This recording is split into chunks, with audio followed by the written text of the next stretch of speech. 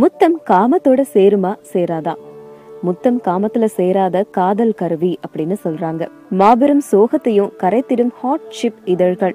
பிறந்த குழந்தை பெறும் முதல் பரிசு. வெற்றியின் போது ஆற தழுவி நாம் பெறும் போனஸ் பரிசும் கூட முத்தங்கள் தான். அம்மா அப்பா காதலி தோழமை மனைவி குழந்தைகள் அப்படின்னு ஒருத்தங்கள்ட்ட இருந்தோ முத்தங்கள் பல்வேறு பரிணாமங்கள்ல நமக்கு வரும். ஒரு நாளை முத்தத்தோட தொடங்கினா அந்த நாள் பொன்னாலாவே திகழும். ஒரு ஆய்வுல தம்பதிகள் தினமும் ஐந்து முத்தங்களை பரிமாறிக்கிட்டா அவங்களோட இல்லறம் எப்படி மேன்மை அடையும் அப்படின்னு சொல்லியிருக்காங்க. இந்த ஆய்வறிக்கை என்ன சொல்லுது அப்படின்னு இங்க பார்க்கலாம்.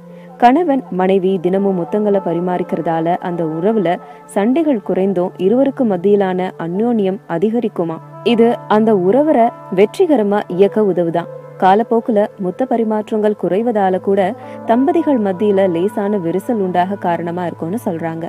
இரண்டு ஒரு உறவுல முத்தங்கள் தவிர வேற என்னென்ன காரணங்கள் உறவுடைய பிணைப்பை அதிகரிக்க காரணங்களா இருக்கு அப்படின்னு இந்த ஆய்வுல ஆராயப்பட்டிருக்கு.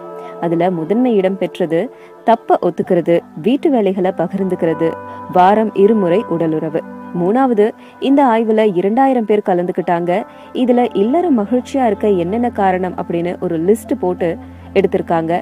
அதுல எடுக்கப்பட்ட தகவல் மூலமா உருவாக்கப்பட்டது அதுல முதல் இடங்கள்ல குழந்தைகள் அப்படிங்கிற காரணம் இடம் பெறல நாலாவது இருவரோட ஹாபிகளை சேர்ந்து செய்யறது. ஒரு நாளைக்கு ஒரு முறையாவது ஐ லவ் யூன்னு சொல்றது. குறிப்பா தூங்க போறதுக்கு முன்னாடி ஐ லவ் யூன்னு சொல்றது. இந்த மாதிரியான விஷயங்கள் உறவை மேம்படுத்துறதுக்கு வழிவகையா இருக்கு. அஞ்சாவது திருமணம் அப்படிங்கிற ஒரு விஷயம். ரெண்டு பேரும் முழு நேர வேலைக்கு போறதும் இல்லற மகிழ்ச்சியில ஒரு முக்கிய பங்கு வகிக்குது. திருமணம் அப்படிங்கிறது வெறும் சடங்கு தான். இருவர் மத்தியில இன்பத்துக்கு அது காரணமா இருக்கிறது இல்ல அவங்க இருவருக்குள்ள இருக்கிற அந்யோன்யம் தான் அவங்க உறவை வலுப்படுத்தும் அப்படின்னு சொல்றாங்க. உங்களோட திருமண வாழ்க்கை எப்படி இருக்கு? கீழே கமெண்ட் பண்ண மறந்துடாதீங்க. ரகசிய உண்மைகள் சேனலை சப்ஸ்கிரைப் பண்ணவும் மறந்துடாதீங்க.